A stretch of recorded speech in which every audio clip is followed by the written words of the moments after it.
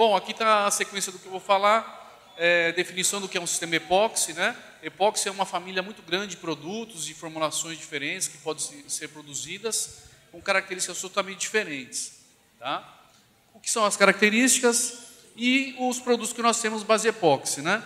Nós temos primers, sistemas epoxídeos flexíveis e epóxi para ambientes químicos agressivos, né? Então, como caracterizar, como testar, como avaliar e alguns exemplos de produtos que nós temos bom? Bom, aqui uma definição do que é o epóxi, né? Aquela primeira molécula, você tem ali a resina epóxi, né? E esses oxigênios aqui das pontas, eles são quebrados por algum agente endurecedor e ocorre a polimerização, né? Essa segunda equação aqui é o mecanismo de polimerização. Então, eu listei aqui uma série de resinas e de endurecedores disponíveis no mercado para se fazer um sistema epóxi, né? Vocês vejam que aqui nós temos é, desde a bisfenol A, que é uma resina mais comum, a bisfenol F, alifáticas, enfim. É, e também endurecedores, amínicos, poliamidas, que você consegue, é, pela reação de um desses com qualquer um dos endurecedores, ter, formular produtos com características totalmente diferentes. Tá? Então, é, também vou falar um pouquinho de alguns paradigmas, alguns conceitos que ficam um pouco arraigados a um produto. Né? Então, quando se fala, por exemplo, de poliuretano, todo mundo tem em mente é, um produto, uma característica. Quando se fala em epóxi, todo mundo pensa também em outra. Né? E eu queria é, provocar aqui uma reflexão, porque é, simplesmente dizer que é epóxi não define nada. Os produtos podem ser totalmente diferentes e ter desempenho completamente diferentes e ser adequados a uma situação e não a outra. Tá bom? Ah, bom, as características principais dos sistemas epóxi, eu listei elas aqui uh, para falar rapidamente sobre elas. Né? Em geral, eles têm boa resistência química, excelente resistência química, dependendo da formulação, é, aderência a vários substratos diferentes, elevada resistência mecânica, tá? possibilidade de eliminar proteção mecânica, tá? então vou falar um pouquinho de sistemas é, flexíveis para áreas de tráfego de veículos, onde você faz a impermeabilização e deixa ela já com um acabamento final. Tá? Isso é uma tendência no nosso mercado, de produtos à base de poliuretanos e outras famílias é, para impermeabilização. E nós criamos uma linha de epóxi para isso. Tá? Ah, pode ser rígido ou flexível. Né? Ah, eu sei que aqui no Rio de Janeiro as pessoas têm um pouco mais de conhecimento de sistemas epóxis, então se eu falo que o epóxi pode ser flexível, não causa espanto, as pessoas já ouviram falar. Mas em São Paulo não. E outros lugares que a gente fala também não. Então, às vezes, eu vou falar que eu tenho um produto epóxi flexível, o pessoal não acredita em mim. Acho que eu estou inventando. Não, realmente existe e pode ser feito, né? E com uma série de benefícios, né? Uh, por exemplo, baixo índice de VOC. Todos os nossos produtos que a Masterpal formula e, e comercializa é, são isentos de solventes, tá? justamente pela preocupação tanto de segurança na hora da aplicação, de não, não fornecer um produto inflamável, que cause risco, quanto também da saúde ocupacional dos, do, dos aplicadores. Tá? Pode ser aplicado a frio ou mecanizado, vou mostrar alguns exemplos, tá? E parâmetros normativos, né? Não existe, não existe norma para, para epóxi, né? É, nós temos um, um, costume no nosso segmento de fazer norma para cada produto, né? Então existe uma norma para manta, existe uma norma para acrílico, uma norma para cimento polimérico, outra para argamassa polimérica, é, existe a norma de poliuretano, que eu fui coordenador há 10 anos atrás, e essas normas acabam se ficando obsoletas, né? porque a tecnologia ela avança independente da norma. Né? Então, se você faz uma norma hoje que atende os produtos do mercado, no ano seguinte alguém inventa um. pega aquela mesma base química, faz um produto diferente e que não se adequa à norma. Então, a norma de produto é, fica obsoleta. Né? E a gente tem que ficar revisando, e o trabalho de revisão de normas junto à BNT não é um trabalho rápido, né? infelizmente demora. Tá? Eu participo lá do CB22, nós temos uma grande dificuldade de, de, de agilidade de conseguir é, revisar as normas. Né? Só para vocês terem uma ideia, a norma de potabilidade para sistema de impermeabilização, nós estamos trabalhando nela há dois anos e meio. Só agora que veio o resultado da consulta pública. Então, é, acho que a gente deveria pensar um pouquinho melhor e, na hora de escrever normas, o que, que é importante? É o, é o, desempenho do sistema, do produto, ou simplesmente ah, aquela base química, aquela família de produtos que alguns fabricantes têm, está normatizado. Né? Eu acho até que para epóxi, na minha opinião, não deve se fazer norma de epóxi, porque é, existem tantos tipos e se pode daqui a um ano, dois, se criar mais outras alternativas que fica inviável. Né?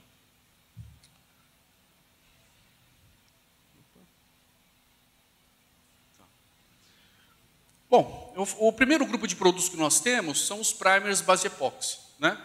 Então, eles têm algumas funções, como melhorar a aderência é, em substratos molhados ou contaminados com óleo ou graxa, conter pressão negativa e nivelamento e selamento do substrato. Tá? Então, nós temos aqui três opções de primers. O Primer 500 é o mais completo de todos, é um sistema 100% sólido, que faz, faz nivelamento, contenção de pressão negativa e aderência em substratos molhados ou contaminados com óleo ou graxa.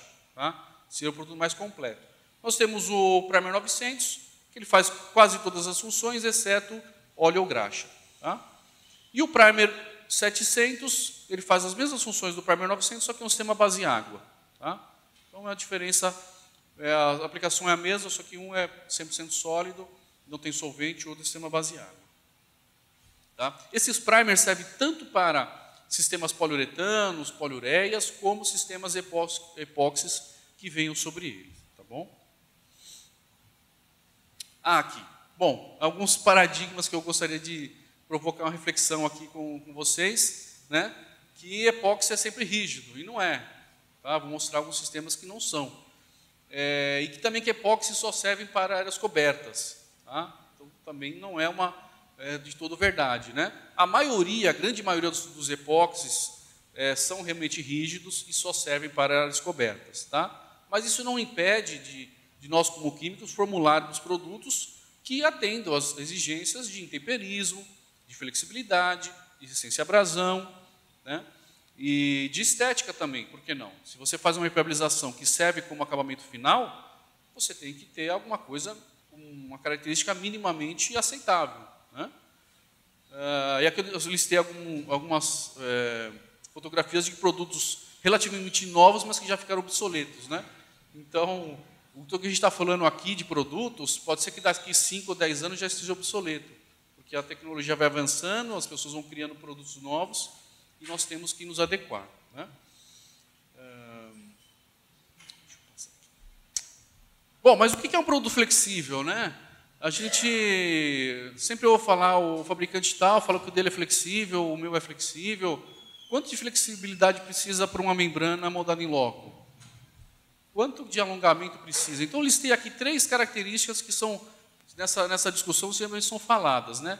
Alongamento na ruptura. Quanto de alongamento uma membrana precisa ter para ser flexível?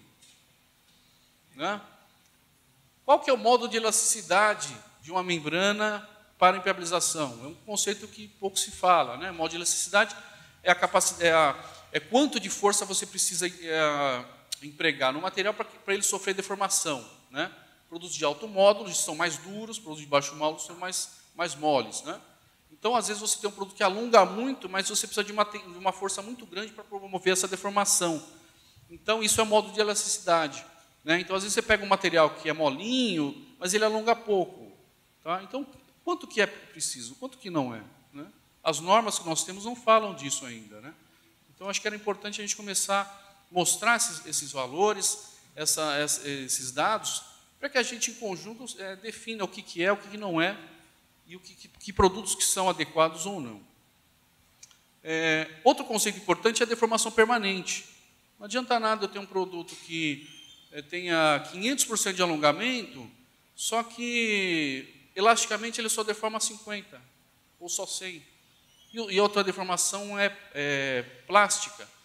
Tá? Então isso é bastante importante a gente ver não só o número, porque às vezes o número que tem no manual técnico ele é frio, né? Então é importante ensaiar um pouquinho mais a fundo, isso que eu queria colocar aqui para vocês, para que a gente pudesse discutir. Eu trouxe alguns valores, alguns gráficos para dos nossos produtos flexíveis para que apresentar para vocês. Tá? Bom, aqui tá aqui, vamos um pouquinho para a engenharia de materiais, né? O que, que a engenharia de materiais fala de é, na literatura do que é um produto flexível, um produto rígido. Né? Então, nós temos aqui três curvas, A, B e C. A curva A é característica de um sistema rígido. Um epóxi rígido vai apresentar essa curva A, ou seja, baixa deformação, alto módulo, né? e ela, a ruptura ocorre totalmente numa fase elástica. Isso é bem característico do sistema rígido. Curva B, muito característica de produtos que têm uma alta, uma alta deformação, um alto alongamento, mas só que a partir desse ponto, essa deformação é totalmente plástica. Só até esse ponto aqui, que é o ponto de inflexão, é que é uma, é uma deformação elástica. Então é importante não só ver quanto que ele deforma, mas como ele deforma. Né? E por fim, essa, a curva C seria um produto totalmente elástico. Né? Ele deforma bastante e toda essa deformação é elástica.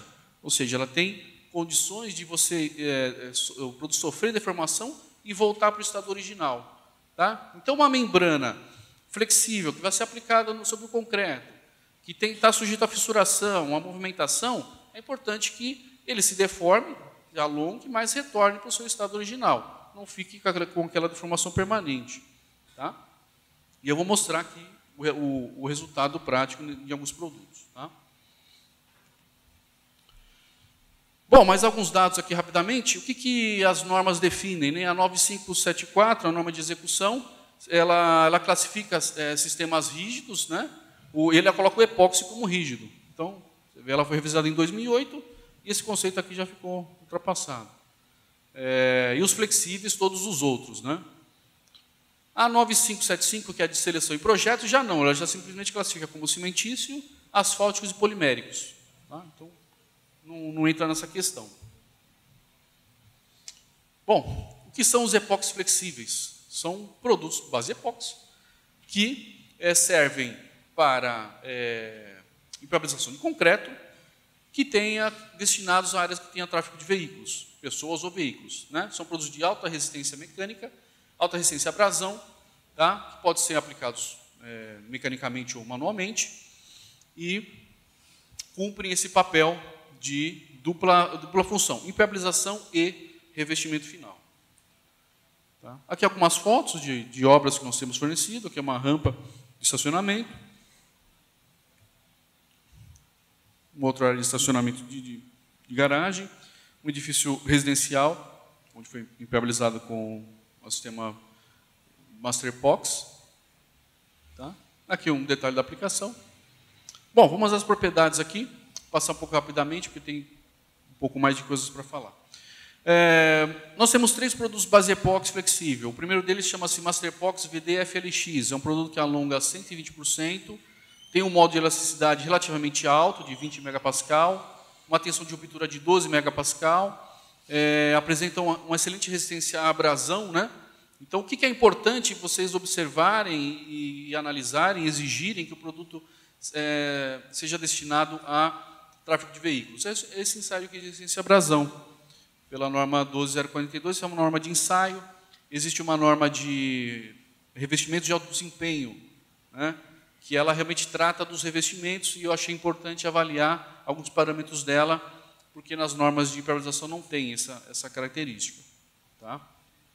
Hum, e uma dureza chorar, short D 40, uma dureza relativamente alta, né?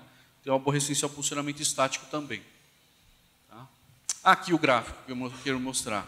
Então é um produto que ele tem é, 120% de alongamento, de deformação, mas só que essa deformação ocorre totalmente no regime elástico. Quando chega em 120%, ele rompe. Né? Então, é um produto que alguém pode falar, ah, mas só 120% comparado com outros sistemas é pouco. Sim, é, seria inferior, mas ele é totalmente elástico. Então, isso é bastante importante. Uh, o segundo produto que nós temos é o M400, Masterpox FLX M400. É um produto bastante semelhante ao, ao aquele primeiro, ele tem uma, uma característica de, é, especial, que é um resistencial ao atrito é, molhado ou úmido. Tá? Então, existe uma norma de piso cerâmico, a 13818, que ela define um parâmetro é, para ser escorregadio ou não. Tá? Então, aqui foi feito um ensaio, acho que tem aqui o relatório.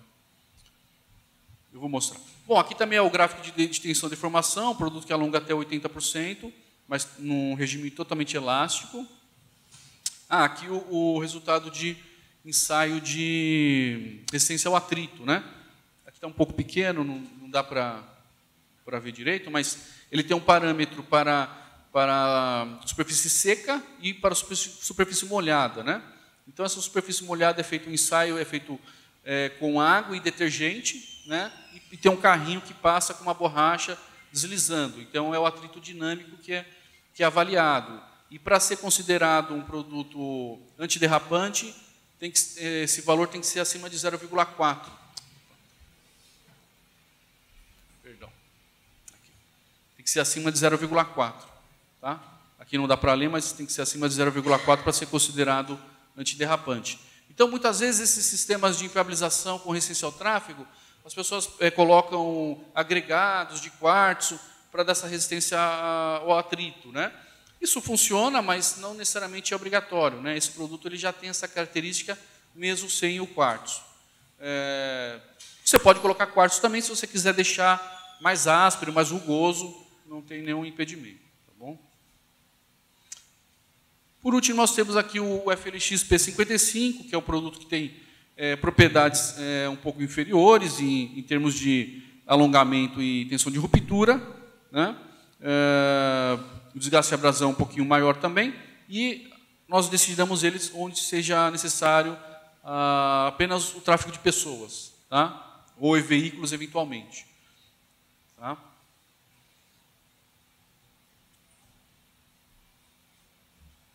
Aqui também o, o gráfico dele de tensão-deformação. Tá? Então ele alonga só 60%, mas ele tem essa característica totalmente elástica. Esse ensaio nós fizemos também para nossas membranas de poliuretano. O resultado que nós observamos foi é, mais curioso ainda, né? Enquanto aqui os epóxis eles estão todos é, têm todo o comportamento flex, é, elástico, os poliuretanos não. Poliuretanos alguns são elásticos, outros são elásticos e plásticos.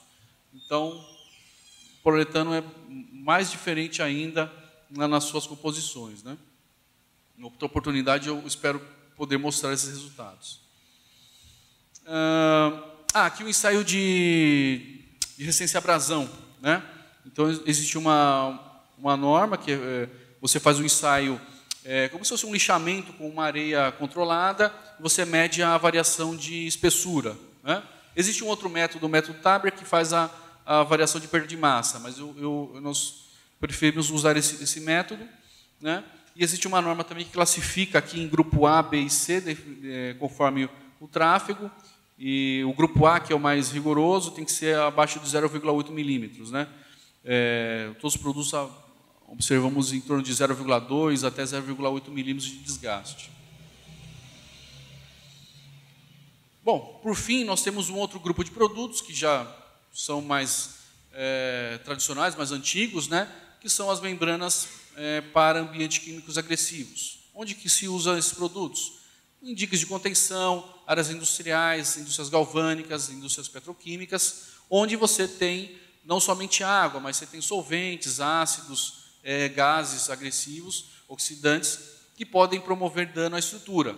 E a maioria dos impermeabilizantes, é, cimentícios ou poliméricos, não resiste à agressão química. Tá? Então, existe a tecnologia de epóxi com é, resistência química elevada já é mais antiga e nós temos também. Tá? Todos os nossos produtos, como eu já falei, não têm solventes, são baixa viscosidade, bastante fáceis de trabalhar.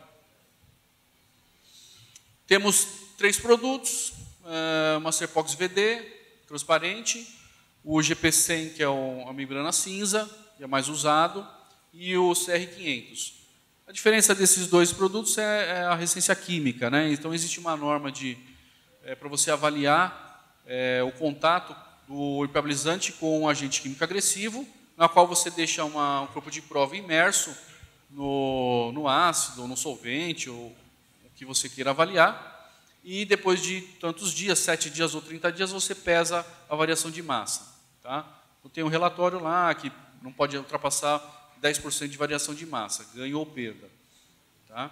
E aí, dependendo da formulação, você vai ter uma característica diferente. Uns são mais resistentes a ácidos, outros são mais resistentes a bases e outros são mais resistentes a solventes. Então, é sempre importante avaliar o que, que vai ter que estar tá em contato. Né? Também muito importante para os epóxis é a temperatura de uso.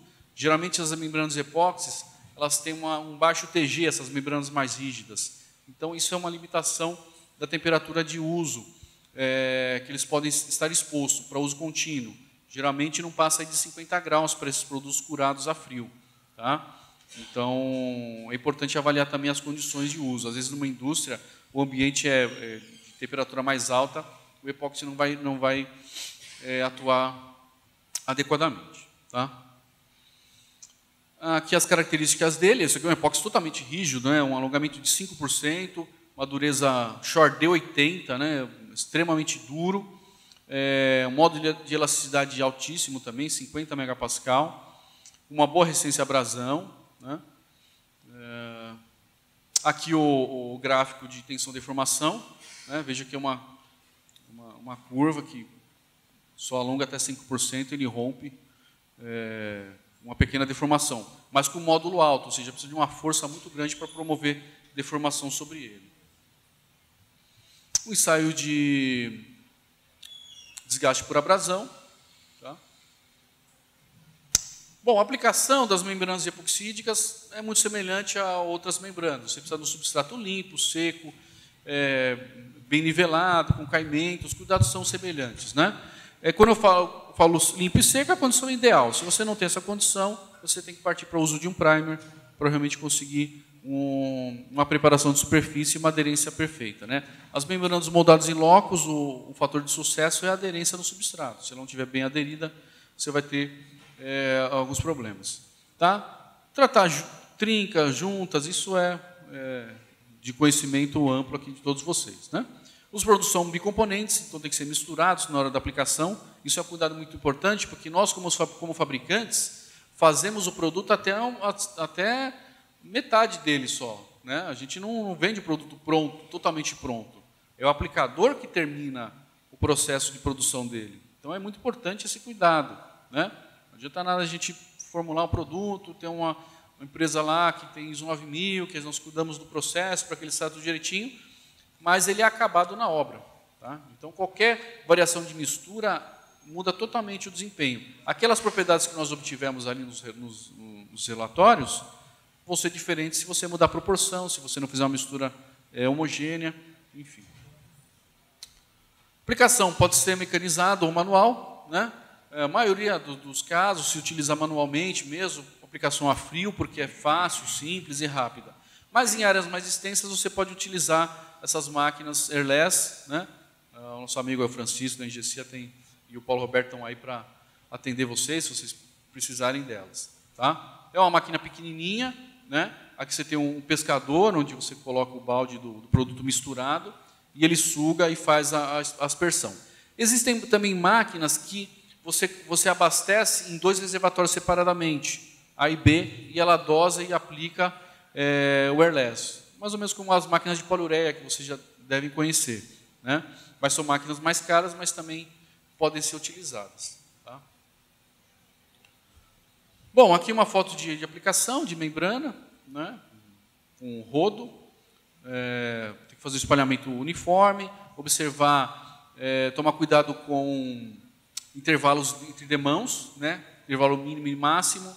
Se passou de 24 horas, tem que lixar, é complicado, eu sei, mas tem que ser feito conforme as recomendações, para evitar patologias de delaminação que, que podem ocorrer. E a aplicação airless, isso aqui é um reservatório de tratamento de, de, esgoto, né? então você tem aqui o operário fazendo a aplicação, né? com aquela maquininha, essas mangueiras aqui podem chegar até 20 metros de comprimento, né? então você consegue ter uma, uma varredura muito grande com equipamento pequeno e, e prático. Tá? Obviamente, o, o EPI que o funcionário tem que usar é diferente, né? porque você, nessa aplicação de airless, é, dependendo do vento e das condições, pode gerar uma névoa e a pessoa não pode respirar isso, né? porque o produto em si não é, é não é tóxico, mas não, também não é adequado à ingestão. Né? Tá bom? bom, é isso, gente. Estou aqui à disposição. Obrigado pela atenção de vocês. É isso que eu tinha para falar.